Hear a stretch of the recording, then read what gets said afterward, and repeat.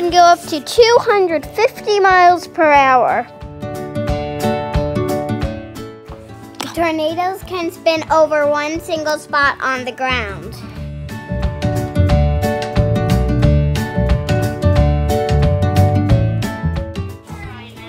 Tornadoes can swing from side to side.